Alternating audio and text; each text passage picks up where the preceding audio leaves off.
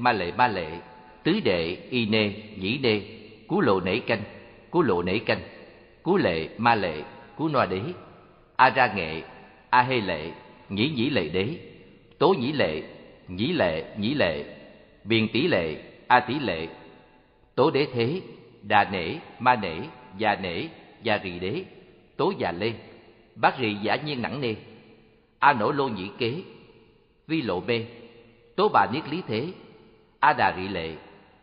Tác ma bát ra bổn đế. Bát ra dĩ hê. Đà la ni. Để sắc sĩ ha. Tố để a thế. Bộ nhượng già già nẵng, cung bàn noa. A phạ sa phạ nẵng, bá trị đố lý giả ninh. Bát trị già noa ninh. Ma nẵng sa. Tố lộ chỉ đa. Bát na. Ác sắc ra. A tỳ la tỷ giả. Bát ra để sắc cha ha. Đà la ni. A nhĩ đa đà la ni như vậy, của chư phật đã được đầy đủ đại thần thông, trí huệ vô biên lượng, rời lìa các chấp trước, niệm xứ đều thanh tịnh, không sắc, không khứ lai, chẳng phải phương phương sở, không tướng, không ngôn thuyết, vượt quá những khí luận. Bồ tát siêng năng tu rốt ráo được thanh tịnh, giả sử dùng trăm ngàn, na do tha kệ tụng, diễn nói chừng một câu chẳng hết được biên tế, chư thánh chỗ tán thán, thanh tịnh không nhiễm trước, tất cả các chúng hội, thảy đều sanh tôn trọng đà la ni như vậy, thiện pháp quay thần lực, hay xô dẹp phiền não, khiến được những thắng lợi, công đức và trí huệ rộng lớn như biển cả, thành tựu những nhục lực. Tâm an trụ chẳng động, bồ tát thường tu tập người trí thường khen ngợi, bỏ rời sự nghèo cùng.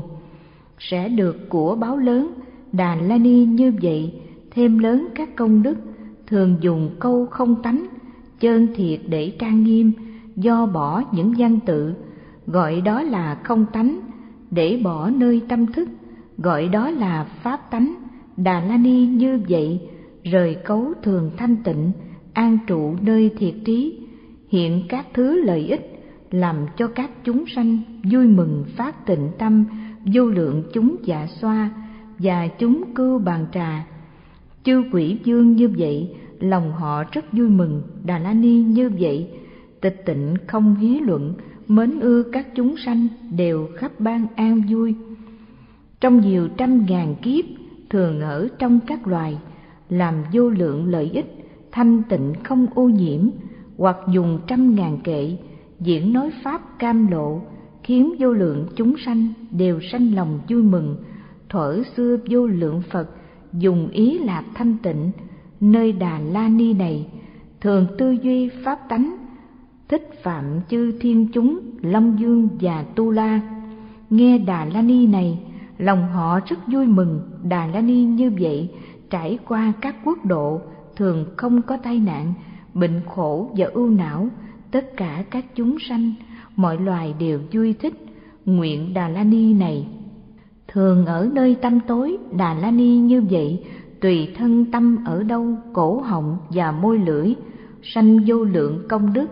Nếu thường thọ trì được được vô lượng công đức, lợi ích nhiều chúng sanh, đều làm cho vui mừng đà la ni như vậy, rời lìa những tội ác, diễn thuyết pháp di diệu được vô tận biện tài, khiến trăm ngàn chúng sanh đều dứt trừ nghi hoặc, xô phá các kiêu mạng, được vô lượng công đức. Đà la ni như vậy, pháp rất sâu di mật, người trí thường suy nghĩ, dũng mãnh siêng tu tập, mặc áo giáp trí huệ, xô diệt các phiền não. Thêm lớn tâm công đức, mến thích không giảm đủ. Đà la ni như vậy, đủ danh gọi rộng lớn rõ được tận vô tận, sanh biên vô sanh biên, dùng trí huệ như vậy. Các thứ tự trang nghiêm, trăm ngàn các như lai tôn trọng mà cúng dường. Đà la ni như vậy đủ hai thứ minh hạnh, y chỉ nơi thắng định, xu hướng đạo bồ đề. Tùy thuận nơi chỉ quán, thông đạt huệ vô lậu. Dùng tịnh tính căn lực, thành tựu nơi hai tay. Dùng tịnh tiến nhẫn nhục thành tựu nơi hai vú, trí huệ ba la mật mà dùng làm đảnh tướng tu đa la làm tuyến. Sau dòng qua tứ biện, thuở xưa đã tu hành các thứ công đức lành và vô lượng thí dụ, tất cả đều trang nghiêm, đà la ni như vậy, đủ vô lượng công đức, nơi nhãn tiền hậu tế, tận biên vô tận biên hoặc sanh hoặc vô sanh, biên tế phi biên tế. Tịch tịnh chẳng tịch tịnh, lưu chuyển phi lưu chuyển, vô hữu và vô sanh. Tịch diệt cùng vô ngã, không nhân không thọ giả, nhẫn đến không chúng sanh. Vô lượng môn như vậy, tất cả đều hiểu rõ. Nhĩ tỷ thiệt thân tâm, sáu trần và tứ đại, nhẫn đến thế sanh danh, tất cả đều như vậy như trên đã ca ngợi, đà la ni di diệu, tịch tịnh thắng công đức, cảnh giới của chư phật, thiệt nghĩa đà la ni, văn tự chẳng tỏ được, vì thuận theo thế gian, chỉ dùng giải danh nói. Lúc ấy, đức thế tôn và đại chúng đến nhà nguyệt quan đồng tử, trải tòa mà ngồi. Đồng tử biết đức phật ngồi xong, đích thân ban đồ cúng dường chi diệu dâng lên đức như lai và hàng đại chúng đồ cúng dường ấy thuần do sức bất tư nghì của thiền định phước đức thiện căn thù thắng làm thành. Lúc cúng dường như vậy, cũng chẳng vì mình mà gấp khiến vô lượng chúng sanh phát tâm xu hướng bồ đề, được lợi lành to lớn. Đồng tử cúng dường đầy đủ khắp tất cả. Đức thế tôn thọ trai xong ở giữa đại chúng, bảo nguyệt quan đồng tử rằng, này thiện nam tử nếu có thiện nam thiện nữ an trụ nơi đại thừa mà thực hành công hạnh bố thí cúng dường, thì có tám mươi thứ công đức tù thắng. Những gì là tám mươi thứ, đó là thành thục chúng sanh, dùng lời khéo để nhiếp thọ, viên mãn tướng di diệu, các căn chẳng kém thiếu, bỏ rời sanh tử, chứng nhập niết bàn, hết các kiết sử, được thắng tự tại đầy đủ công đức trang nghiêm phật độ, quyến thuộc thanh tịnh, có quay đức lớn, đầy đủ trí huệ, thành tựu công hạnh tối thượng thù thắng, viên mãn công hạnh vô thượng, vô đẳng đẳng. Từ diệt tập khí, tăng trưởng tất cả trí hạnh như lai, thân và xá lợi được các thế gian và hàng tham văn duyên giác cúng dường, dẹp phá người ác. Có thể khiến thiên, long bát bộ, thần dương và phạm thiên dương đều sanh lòng tín ngưỡng. Có quay đức lớn, tuyên nói khế kinh, ứng tụng, thọ ký, tự thuyết, phúng tụng, thí dụ, nhân duyên, bổn sự, bổn sanh, phương quản dị tằng hữu, nhẫn đến luận nghĩa, thọ trì diễn thuyết. Lòng không biến mỏi, nơi pháp không lẫn tiếp an trụ phật đạo, quốc độ tối thắng, danh sắc thanh tịnh, chứng pháp thân được vô sở quý, thành tựu phước đức, che khuất các ngoại đạo, đủ pháp bậc thiện nhân, bỏ việc làm kẻ ác, tinh nhân phước trí, hòa hiệp phật pháp, hàng phục chúng ma, không có mê hoặc đối với pháp an lạc của đức phật dạy. Phá diệt ác dục, đủ quay đức lớn, tu bồ tát hạnh, được thắng thần thông bỏ rời sanh tử, thành tựu chúng sanh khen vô biên hạnh, nhiếp thọ công đức, quỷ dụ chúng sanh. Thọ dụng pháp lạc, tu hành huệ thí, nhập môn đại trí, trụ nơi noãn pháp, chủng tánh quyết định, tu hành pháp nhẫn, an trụ phật đạo. Này đồng tử, nếu các thiện nam thiện nữ tu tập công hạnh bố thí, thì thành tựu đầy đủ tám mươi thứ công đức thù thắng như vậy. Bây giờ đức thế tôn nói kệ rằng chư bồ tát đại trí, đầy đủ hạnh bố thí, được tám mươi công đức, ta đã lược giảng nói, lại có các công đức vô lượng khó nghĩ bàn, đều từ bố thí sanh, nay sẽ nói phần ít. Ông bình đẳng bố thí, gấp đủ cả đại hội công hạnh bố thí ấy, người trí phải tu tập. Bố thí ấy chứa được khối phước chẳng nghĩ bàn, thân tướng hảo trang nghiêm, tất cả đều viên mãn sanh xứ và chủng tộc, quốc độ và cư gia, danh xưng cùng sắc tâm, tất cả đều thanh tịnh, chư thiên sự thần biến và cung điện thể nữ, thanh tịnh vô ngại biện, đều từ bố thí sanh, bố thí thắng tư lương, chư phật đều khen ngợi. Đây là cội an trụ, tối sơ của bồ đề. Chư bồ tát tinh tiến, không nghi hoặc bố thí, an trụ tâm quyết định riêng tu hạnh bố thí, tâm bố thí như vậy, thành tựu phước thù thắng, bồ tát riêng tu tập. Sẽ chứng phật bồ đề, do quay lực bố thí, thành tựu thắng thần thông, chấn động muôn ức cõi, chẳng tổn hại chúng sanh, do bố thí dẫn được. Tịnh giới và đa văn, chánh tính cùng tinh tiến, tam muội huệ vô lậu, do bố thí dẫn được, căn được bồ đề phần chánh đoạn và thần túc, rời xa các tập khí, do bố thí dẫn được. Âm thanh diệu thanh tịnh, trong trăm muôn ức cõi, khai thị vô biên pháp do tịnh tính hành thí. Mau được các thần thông, vì thành tựu thần thông, phải siêng tu bố thí.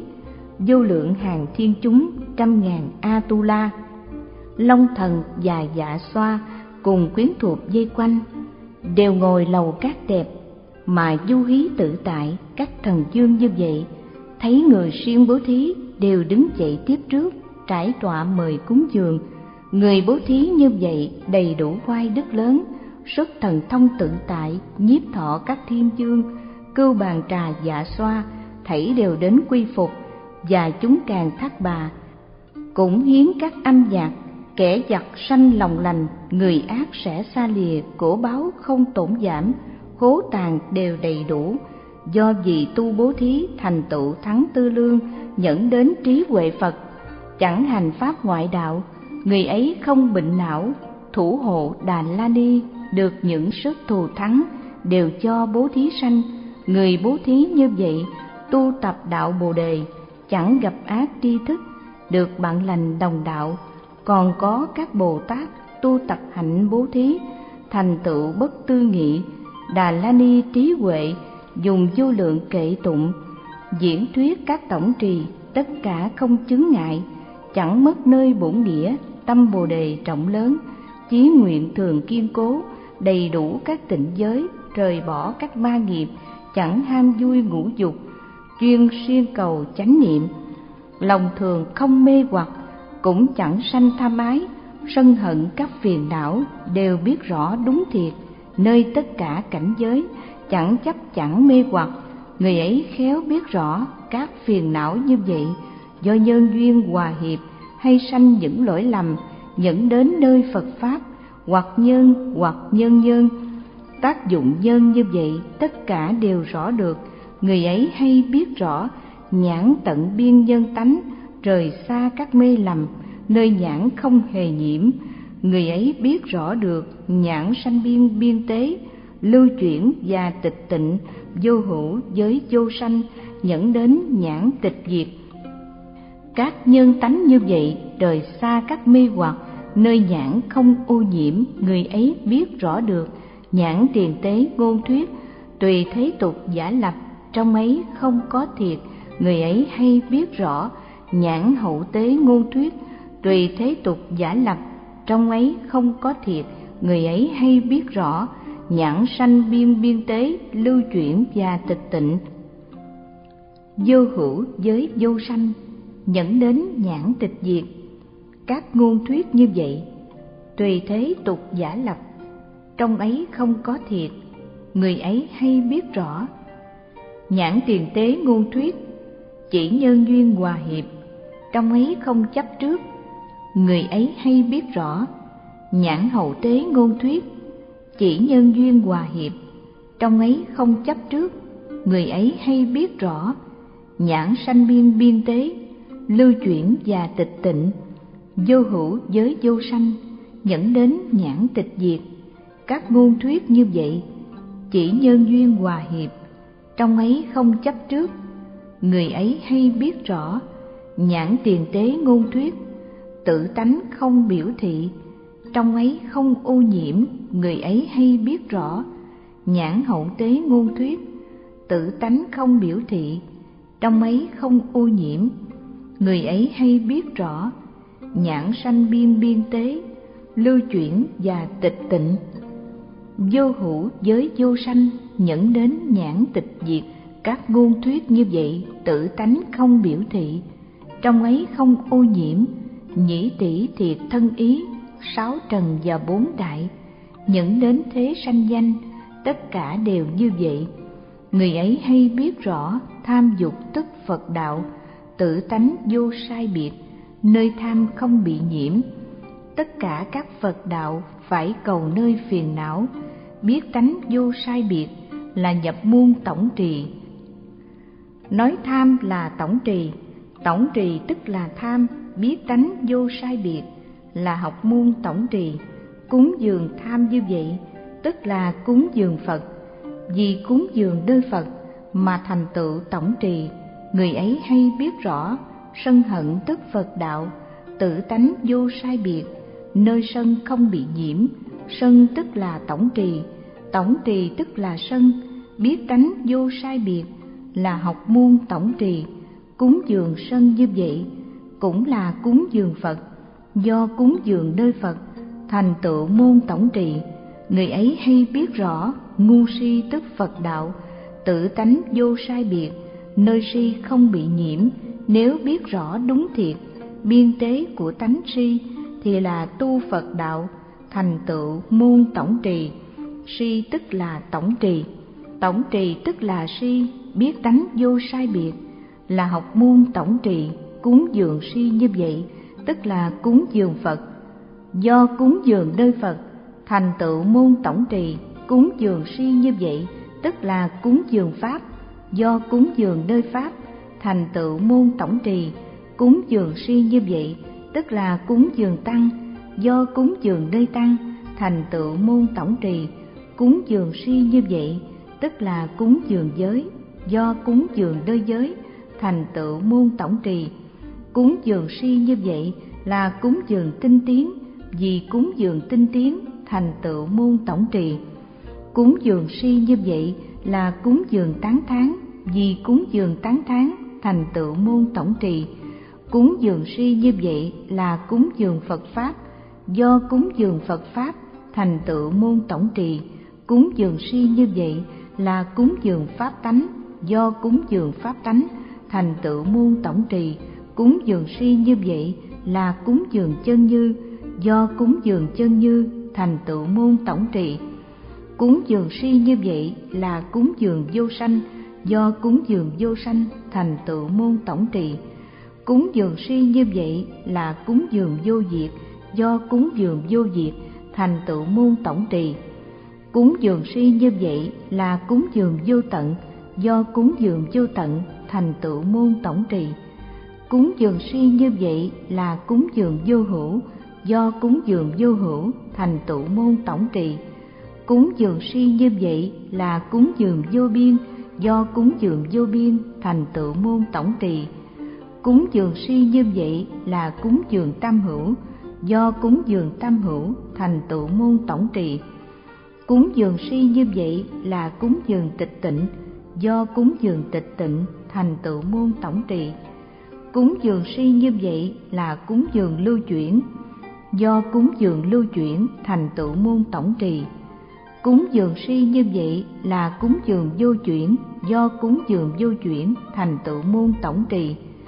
Cúng dường si như vậy là cúng dường vô hữu, do cúng dường vô hữu thành tựu môn tổng trì. Cúng dường si như vậy là cúng dường vô sanh, do cúng dường vô sanh thành tựu môn tổng trì cúng dường si như vậy là cúng dường tịch diệt, do cúng dường tịch diệt thành tựu môn tổng trì. Cúng dường si như vậy là cúng dường bất lai, do cúng dường bất lai thành tựu môn tổng trì. Cúng dường si như vậy là cúng dường vô hành, do cúng dường vô hành thành tựu môn tổng trì. Cúng dường si như vậy là cúng dường vô di do cúng dường vô di thành tựu môn tổng trì cúng dường si như vậy là cúng dường khổ thảy. Do cúng dường khổ thảy thành tựu môn tổng trì. Cúng dường si như vậy là cúng dường khổ trí. Do cúng dường khổ trí thành tựu môn tổng trì. Cúng dường si như vậy là cúng dường tập trí. Do cúng dường tập trí thành tựu môn tổng trì. Cúng dường si như vậy là cúng dường diệt trí. Do cúng dường diệt trí thành tựu môn tổng trì cúng dường si như vậy là cúng dường đạo trí. Do cúng dường đạo trí thành tựu môn tổng trì. Cúng dường si như vậy là cúng dường pháp trí do cúng dường pháp trí thành tựu môn tổng trì. Cúng dường si như vậy là cúng dường loại trí. Do cúng dường loại trí thành tựu môn tổng trì. Cúng dường si như vậy là cúng vô sanh trí. Do cúng vô sanh trí thành tựu môn tổng trì cúng dường si như vậy là cúng dường tận trí, do cúng dường tận trí, thành tựu môn tổng trì. Như vậy nơi chánh đoạn, niệm trụ và thần túc, ngũ căn và ngũ lực, thất giác bát chánh đạo, gồm sa ma tha kia, tỳ bát xá na thảy, nơi chính pháp này, tất cả đều như vậy. Bấy giờ, đức thế tôn bảo nguyệt quan đồng tử rằng này thiện tam tử, nếu có chúng sanh an trụ nơi đại thừa thành tựu môn đà la ni, như đã nói ở trên, thì phải xa rời tám mươi hạng người. Những ai là tám mươi hạng người ấy, đó là những kẻ giết cha, giết mẹ, giết a la hán có tâm nghĩ giết hại, mà làm thân phật ra máu, phá hòa hiệp tăng tặc trụ xuất gia, không có căn, hai căn, tà kiến, tà tư duy, tà ngữ, tà nghiệp tà mạng, tà tinh tiến, tà niệm, tà định. Chẳng biết chỗ, chẳng biết lúc, chẳng biết pháp, chẳng biết đạo, chẳng biết lượng, chẳng biết tự tha. Đối với phật pháp tăng và các học xứ chẳng biết tôn trọng. Đối với hạnh chẳng phóng dật và cảnh giới thù thắng cũng chẳng tôn ngưỡng. Chẳng biết pháp, chẳng biết luật, chẳng biết học xứ, chẳng biết tội ấy là trọng là khinh chẳng biết giới ấy là hư là khuyết cũng chẳng biết hạnh tu ấy, là tế, là thô, cũng chẳng biết nghiệp làm vị lai là hiện tại. Với sự hạ liệt cũng chẳng biết rõ. Khen thanh văn thừa, phá chê pháp như lai. Quyến thị khai đạo, bích chi phật thừa. Xa rời, nhàm bỏ chánh đạo vô thượng, phá giới, phá kiến, phá các quay nghi đi nơi phi đạo, nói có ngã nhân, nói có chúng sanh, nói có thọ giả nói có bổ đặc và la, chí ý hạ liệt, khởi tham sân si, đoạn kiến, thường kiến, không kiến, vô nhân kiến. Chẳng thấy có, chẳng thấy không, chẳng thấy nghiệp, chẳng thấy tinh tiến. Chẳng biết nghiệp, chẳng biết nghiệp nhân. Chẳng biết dị thục, chẳng biết dị thục nhân. Chẳng biết các căn, chẳng biết các căn nhân. Chẳng biết giới, chẳng biết giới nhân. Chẳng biết giải thoát chẳng biết giải thoát nhân chẳng biết đạo chẳng biết đạo nhân chẳng biết phiền não chẳng biết phiền não nhân chẳng biết thí chẳng biết thí nhân chẳng biết tiền tế và hậu tế chẳng biết tiền tế nhân và hậu tế nhân chẳng biết sanh tử chẳng biết sanh tử nhân chẳng biết hữu lậu chẳng biết hữu lậu nhân chẳng biết tận phi tận chẳng biết hữu phi hữu chẳng biết biên tế phi biên tế chẳng biết tịch tịnh phi tịch tịnh chẳng biết chuyển, phi chuyển. Chẳng biết tánh phi tánh, chẳng biết sanh phi sanh. Chẳng biết diệt phi diệt. Này đồng tử, nếu thiện nam thiện nữ, muốn thành tựu môn đà la ni đã được nói ở trên, thì phải bỏ rời tám mươi hạng người phi pháp ấy.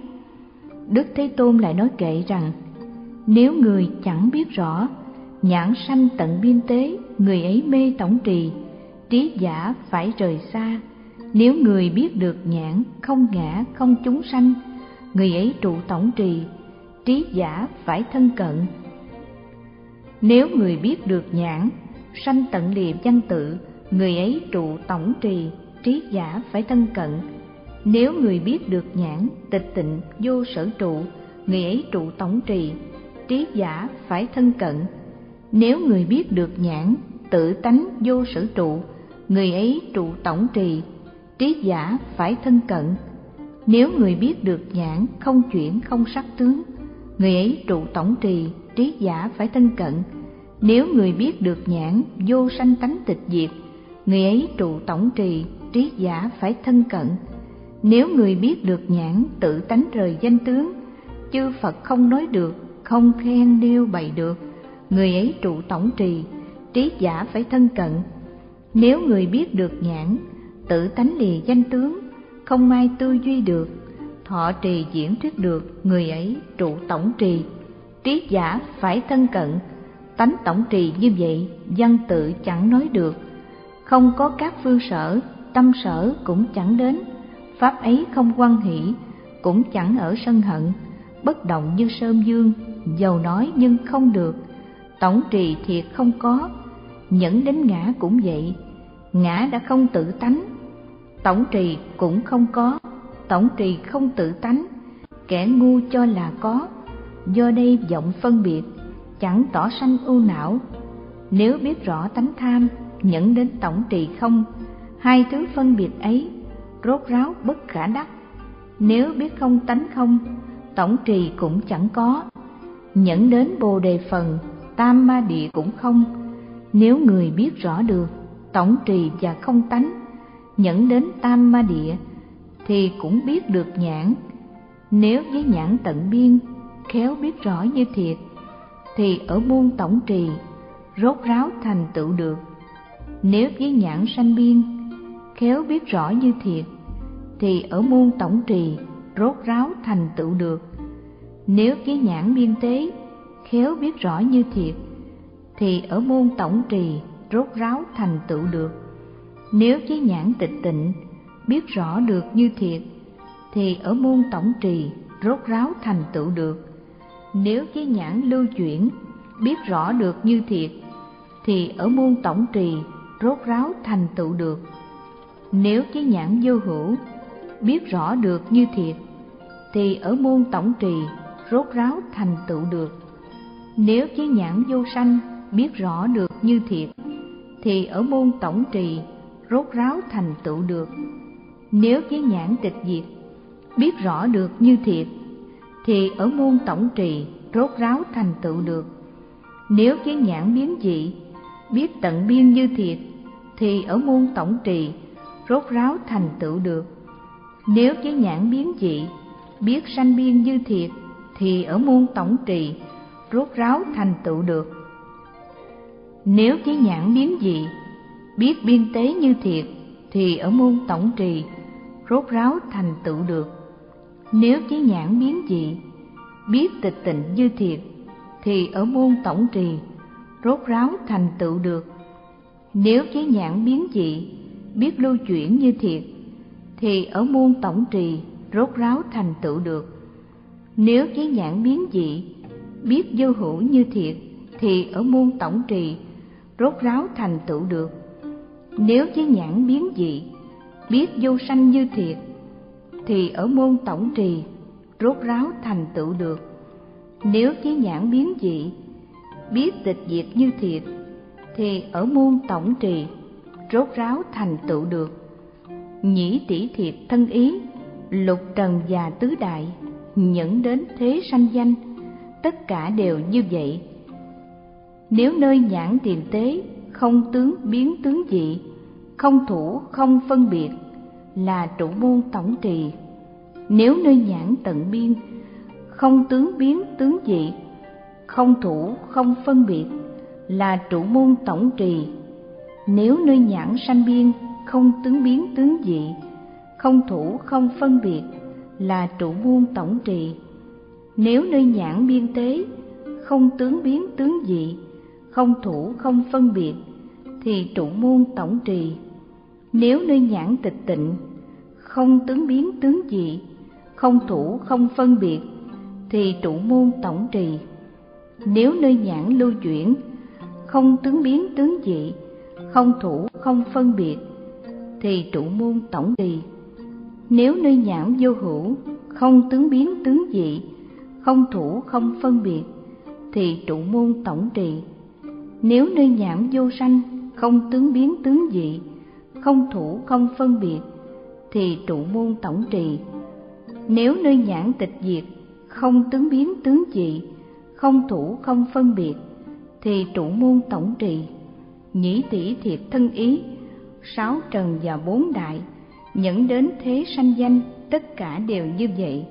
Tham sân si phẫn mạng, tật cuốn sang ưu não quá thất cấu độc tiễn, bạo lưu hắc bạch nghiệp, bất sanh cũng bất diệt, bất khứ cũng bất lai, bất động cũng bất dị, phi tác cũng phi hành, phi minh cũng phi ám, phi lưu bỏ bạo lưu, vô tận và vô trụ, phi hành phi bất hành, phi văn tự phan duyên, phi xuất cũng phi nhập, phân biệt vọng tưởng thảy, cả sáu mươi hai môn đều riêng theo nghĩa lý. Tất cả đều như vậy. Nếu biết nhãn tiền tế, nhẫn đến nơi thượng hạ, không thủ, không phân biệt, là trụ môn tổng trì. Nếu biết nhãn tầng biên, nhẫn đến nơi thượng hạ, không thủ, không phân biệt, là trụ môn tổng trì.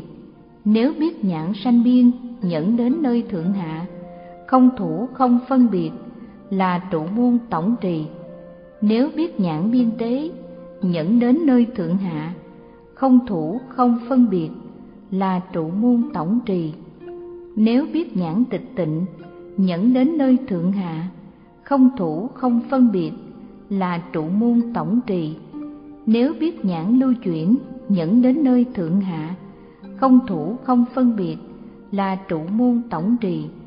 Nếu biết nhãn vô hữu, nhẫn đến nơi thượng hạ không thủ, không phân biệt, là trụ môn tổng trì. Nếu biết nhãn vô sanh, nhẫn đến nơi thượng hạ, không thủ, không phân biệt, là trụ môn tổng trì. Nếu biết nhãn tịch diệt, nhẫn đến nơi thượng hạ, không thủ, không phân biệt, là trụ môn tổng trì. Nhĩ tỷ thiệt thân ý, sáu trần và bốn đại, nhẫn đến thế sanh danh, tất cả đều như vậy nơi tướng bất biến của địa đại, không có thủ trước không phân biệt. Người biết rõ ràng được như vậy, thì thành tựu được môn tổng trì. Nơi tướng vô sanh của địa đại, không có thủ trước không phân biệt. Người biết rõ ràng được như vậy, thì thành tựu được môn tổng trì. Nơi tướng vô diệt của địa đại, không có thủ trước không phân biệt.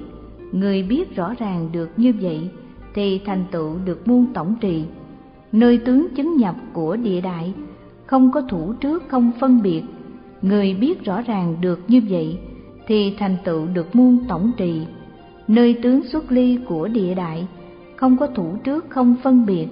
Người biết rõ ràng được như vậy, thì thành tựu được muôn tổng trì.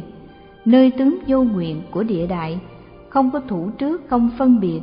Người biết rõ ràng được như vậy, thì thành tựu được muôn tổng trì nơi tướng vô trụ của địa đại, cùng các tướng bất lai bất khứ, tướng vô biên và tướng vô tận, tướng tương ngưng, tướng chẳng tương ngưng, tướng trời địa danh tự kế đạt, tướng quan sát và tướng lưu chuyển, tướng vô hữu và tướng tu trị, tướng không có ngôn thuyết biểu thị, tướng tịch tịnh, tướng vô sở y, tướng niệm trụ và tướng chánh đoạn, tướng thần túc và tướng căn lực tướng thất giác chi đạo vô quý, các tướng của địa đại như vậy, không có thủ trước, không phân biệt, người biết rõ ràng được như vậy, thì thành tựu được muôn tổng trì. Nếu nơi tướng vô xuất của ngã, nơi tướng vô tướng tướng vô nguyện, tướng vô trụ và tướng vô sanh, cùng nơi tướng vô diệt của ngã, nơi các tướng của ngã như vậy, không có thủ trước, không phân biệt người biết rõ ràng được như vậy thì thành tựu được muôn tổng trị, nơi tướng rời văn tự của ngã không có thủ trước không phân biệt. Người biết rõ ràng được như vậy thì thành tựu được muôn tổng trì. Biết nhãn tiền tế và hộ tế rời xa nơi tướng thường tướng đoạn. Nhân duyên tự tánh đều rỗng không đấng đại đạo sư phương tiện nói nếu lúc diễn thuyết pháp mà phân biệt tướng nhãn người ấy vọng phân biệt, chẳng gọi chân thuyết pháp. Nếu lúc tư duy pháp mà phân biệt tướng nhãn, người ấy vọng phân biệt, chẳng gọi chánh tư duy. Nếu lúc tu tập pháp mà phân biệt tướng nhãn, người ấy vọng phân biệt, chẳng gọi chân tu tập. Nếu biết nhãn tánh không, thì chẳng su bồ đề. Chư phật nơi người ấy thường hiện tiền thuyết pháp. Nếu chẳng biết được nhãn thì cũng chẳng biết sắc. Nếu người biết được nhãn, thì cũng biết được sắc. Nếu người biết được sắc, thì cũng biết được nhãn. Nhĩ tỷ thiệt thân ý, tất cả đều như vậy. Nếu lúc diễn thuyết pháp, phân biệt nơi nhân tướng, người ấy vọng phân biệt, chẳng gọi là thuyết pháp. Nếu lúc diễn thuyết pháp, phân biệt tướng tịch tịnh, người ấy vọng phân biệt, chẳng gọi là thuyết pháp. Nếu lúc diễn thuyết pháp phân biệt nơi tướng đạo. Người ấy vọng phân biệt chẳng gọi là thuyết pháp. Nếu lúc diễn thuyết pháp, phân biệt nơi tướng không, người ấy vọng phân biệt chẳng gọi là thuyết pháp. Nếu lúc diễn thuyết pháp, phân biệt nơi tích tập, người ấy vọng phân biệt chẳng gọi là thuyết pháp. Nếu lúc diễn thuyết pháp, phân biệt nơi sự vật, người ấy vọng phân biệt chẳng gọi là thuyết pháp. Nếu lúc diễn thuyết pháp phân biệt nhãn nhiếp thủ, nghĩa vọng phân biệt chẳng gọi là thuyết pháp.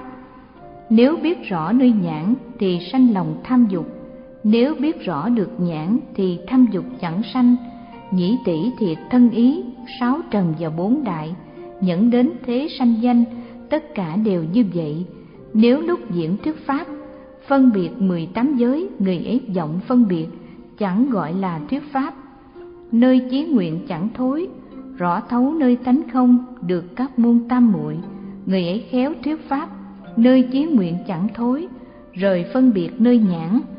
Do vì không phân biệt, người ấy khéo thuyết pháp, chẳng rõ nhãn tánh không, cũng mê nhãn tự tánh. Do vì chẳng biết rõ thì chẳng nên thuyết pháp.